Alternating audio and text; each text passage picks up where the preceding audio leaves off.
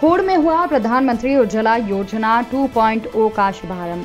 केंद्र सरकार की महत्वाकांक्षी उज्ज्वला 2.0 योजना का शुभारंभ किया गया।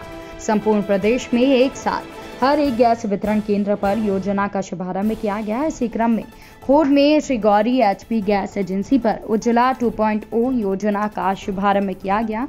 इस कार्यक्रम में भाजपा मंडल अध्यक्ष केरन सिंह लोधी, विधायक प्रतिनिधि ब्रजमोहन निगोती राजकुमार लोधी, नवीन भार्गव, आबिद बख्श, नोडल अधिकारी चमन सिंह आदि लोग कार्यक्रम में उपस्थित थे।